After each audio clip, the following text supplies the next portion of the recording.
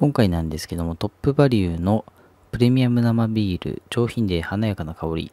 これですね、緑色の缶になって出ていたので、多分前はクリームっぽいデザインの缶だったと思うんですけども、それにトップバリューのこのピンク色のデザインですね。えー、これが多分この新しくなって緑色になったと思うんですけども、ここにニュー、テトナンガーホップ一部使用というふうに書いてます。アルコール5%の生ビールですね。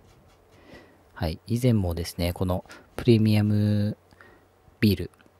プレミアム生ビール、トップバリューの美味しかったので気に入ってたんですけども、この新しいのが出たようだったので気になって一つ購入です。爆が外国製造または国内製造5%未満ということで、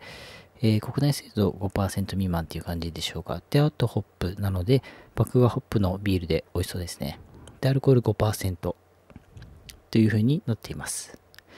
で、製造が以前も札幌ビールだと思うんですけども、ここに札幌ビールになってますね。それではこれからビール注いでいこうと思います。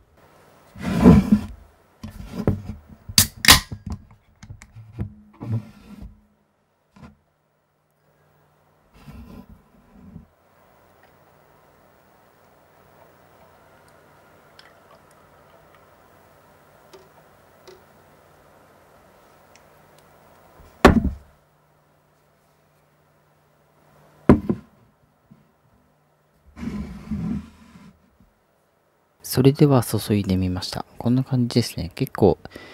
えー、透き通った感じなんですけども、色合いもしっかりとしていて、味もグッと出ていそうで美味しそうな雰囲気です。それではですね、少し飲んでみようかなと思います。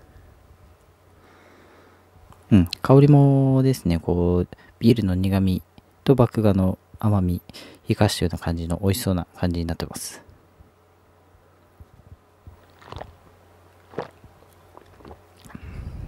うん。美味しいですね。えっ、ー、と、最初にですね、こう、ビールの華やかな、軽い感じのいい香りなんですけれども、まあ、柑橘系とかそういった感じのフルーティーな香りではないですけれども、ビールの麦芽の甘みと苦み、生かしたような感じの風味ですごくですね、美味しいですね。すっきりしてます。で、えー、後の方に麦芽の甘さ感じるかなっていうそういう感じですごく美味しいですし苦味もですねそれほど強くないんですけれども程よく効いていてこれもですねすごくいいなと思いました。はい。このイオンのプレミアムビール、えー、前の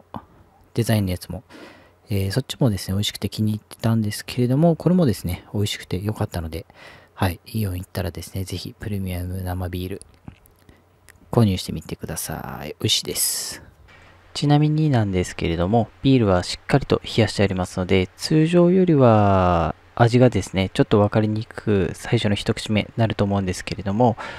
だんだんですね、一口、二口飲んでいくと苦味もですね、より強く感じられるかなっていう具合で、しっかりとした味ですね、より味わえますので、まあ温度帯が冷えてくるとよりしっかりですね、出て、あの味が感じられると、そういう感じになると思います。こういった感じのビールでしたので、食事の時にもぴったりなビールだと思いました。